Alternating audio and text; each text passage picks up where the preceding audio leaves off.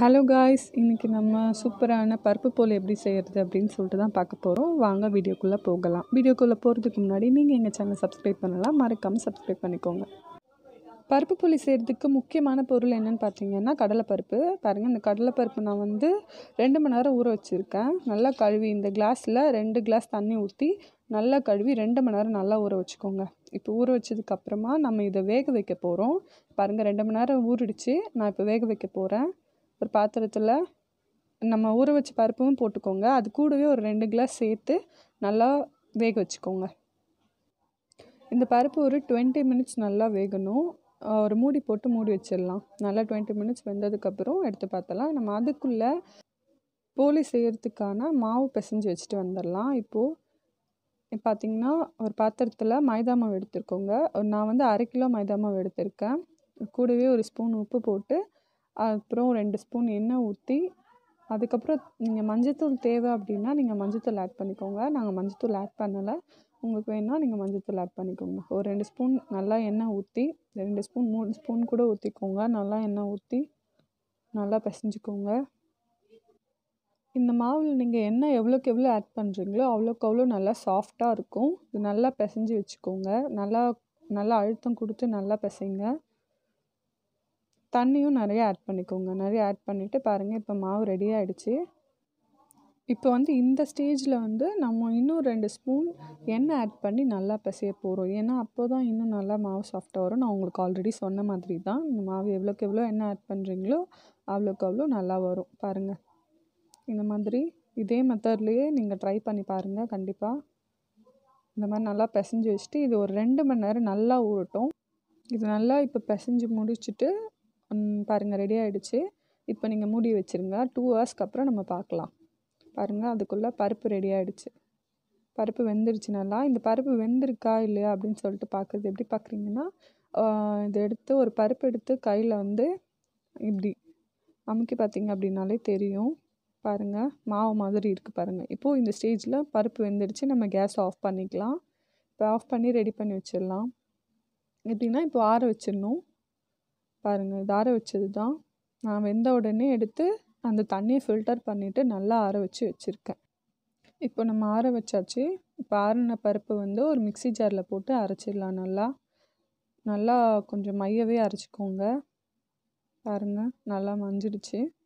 இப்போ இது கூட நம்ம வந்து வெள்ளம் ஆட் பண்ண போகிறோம் வெள்ளம் எப்படி ஆட் பண்ண போகிறோம் அப்படின்னா நம்ம வந்து வெள்ளம் வந்து தண்ணி ஊற்றி கரைக்க போகிறோம் பாருங்கள் நான் வந்து கால் கிலோ வெல்லம் எடுத்திருக்கேன். கால் கிலோ கடலைப்பருப்பு கால் கிலோ வெல்லம் எடுத்திருக்கேன்.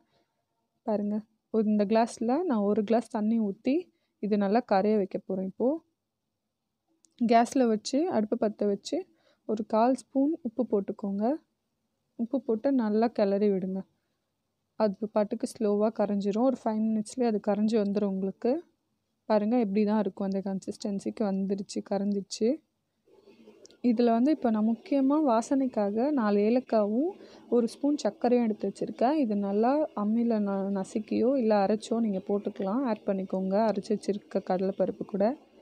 இப்போ வந்து நான் அந்த வெல்லம் நம்ம கரைச்சி வச்சோம் இல்லையா அந்த வெள்ளத்தையும் இதில் ஆட் பண்ணிக்கிறேன். இதை நல்லா கொஞ்சம் கொஞ்சமாக ஆட் பண்ணி இப்படி கலர் விட்டுட்டே இருங்க. இதே மாதிரியே பண்ணுங்கள் கொஞ்சம் கொஞ்சமாக ஆட் பண்ணி இந்த மாதிரி கலர் விட்டுகிட்டே இருந்தீங்கன்னா அது கெட்டி ஆகிடும் பாருங்கள் எப்படி கெட்டி ஆகிடுச்சின்னு இந்த மாதிரி கெட்டியான உடனே இப்படி சின்ன சின்ன உருண்டையாக எடுத்துக்கோங்க. மீடியம் சைஸில் பிடிச்சிருக்கா உங்களுக்கு வேணுன்னா நீங்கள் இன்னும் குட்டியாக கூட வச்சுக்கலாம். இந்த மாதிரி எல்லா உருண்டையும் பிடிச்சி வச்சுக்கோங்க. இது வந்து முக்கியமாக இது வந்து முக்கியமே இந்த பூர்ணம் தான். உள்ளே வைக்கிறது தான் முக்கியம். நீங்கள் இது மட்டும் கரெக்டாக ஆட் பண்ணிக்கோங்க. உங்களுக்கு வேணுன்னா இனிப்பு கூட இன்னும் கொஞ்சம் ஆட் பண்ணிக்கோங்க. பிரச்சனை இல்லை. பாருங்கள் ரெடி ஆகிடுச்சா நம்ம எடுத்து வச்சிட்டோம். இப்போ நம்ம இந்த பிசைஞ்சு வச்சுருக்க மாவை உருட்டி வச்சிடலாம்.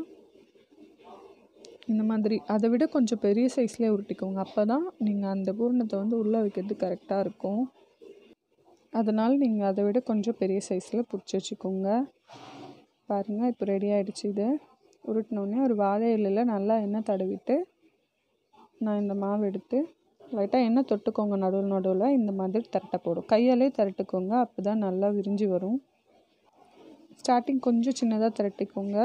அப்போ தான் மாவு வைக்கிறது கரெக்டாக இருக்கும். இப்போ அந்த பூரணத்தை உள்ளே வச்சு நம்ம இந்த மாதிரி மூடிட்டு மேலே வர மாவை வந்து லைட்டாக பிச்சு பிச்சு எடுத்து வச்சுக்கோங்க. ஏன்னா அது மாவு வந்து மேலே இருக்கிறது எடுக்கல அப்படின்னா இன்னும் நிறைய ஆகிடும் மைதா மாவே நிறைய இருக்க மாதிரி நம்ம ஃபீல் பண்ணுவோம். ஸோ அதனால் அதை எடுத்து வச்சுக்கோங்க. நீங்கள் நடுவில் நடுவில் நல்லா எண்ணெய் தொட்டு ஸ்ப்ரெட் பண்ணிங்க அப்படின்னா தான் வரும். இல்லைன்னா மாவு எடுக்க வராது. பாருங்க ரெண்டு சைடுமே நீங்கள் நல்லா பண்ணிக்கோங்க. இந்த மாதிரி திரட்டிக்கோங்க கையில் தொட்டு. இந்த மாதிரி வாழை இலையில் வச்சிங்க அப்படின்னா இன்னும் நல்லா விரிஞ்சு வரும். அது அதனால தான் நான் வாழை இலை யூஸ் பண்ணியிருக்கேன் உங்களுக்கு வேணும்னா நீங்கள் வேறு பால் கவரோ வேறு ஏதாவது கூட யூஸ் பண்ணிக்கலாம். இப்போ நம்ம இதை தோசைக்கல்லில் போட்டு எடுத்துடலாம். இங்கே தோசைக்கல் ரெடியாக இருக்குது இதில் ஒரு ஸ்பூன் எண்ணெய் ஊற்றிக்கோங்க எண்ணெய் ஊற்றிட்டு இப்போ நம்ம அதை போடலாம் இதில். ஜஸ்ட்டு இது நல்லா செவக்கிற வரைக்கும் நீங்கள் வெயிட் பண்ணிங்கன்னா போதும். ரொம்ப கருத்துற வேண்டாம். பாருங்கள் இந்த ஸ்டேஜில் நீங்கள் திருப்பி போட்டுக்கலாம். திருப்பி போட்டதுக்கப்புறம் எண்ணெய் ஊற்றிக்கோங்க ஏன்னா நம்ம ஆல்ரெடி ஒரு ஸ்பூன் எண்ணெய் ஊற்றிட்டோம் அதனால் திருப்பி போட்டால் எண்ணெய் ஊற்றிக்கோங்க பாருங்கள் ரொம்ப கருத்துற வேண்டாம். நான் மஞ்சத்தூள் போடாதனால எனக்கு அப்படி தெரியுது. நீங்கள் அதுக்காக தான் சொல்கிறேன் நீங்கள் வேணால் மஞ்சத்தூள் ஆட் பண்ணிக்கோங்க. அவ்வளோதாங்க. நம்மளோட சூப்பரான பருப்பு போலி இப்போ ரெடி ஆகிடுச்சு இதை நீங்கள் கண்டிப்பாக வீட்டில் ட்ரை பண்ணி பார்த்துட்டு கமெண்ட் பாக்ஸில் கமெண்ட் பண்ணுங்கள் எப்படி இருந்துச்சுன்னு. இந்த வீடியோ உங்களுக்கு பிடிச்சிருந்துச்சுன்னா லைக் பண்ணுங்கள் மறக்காமல் நெக்ஸ்ட் ஒரு சூப்பரான வீடியோஸோடு நான் உங்களை வந்து சந்திக்கிறேன். தேங்க்யூ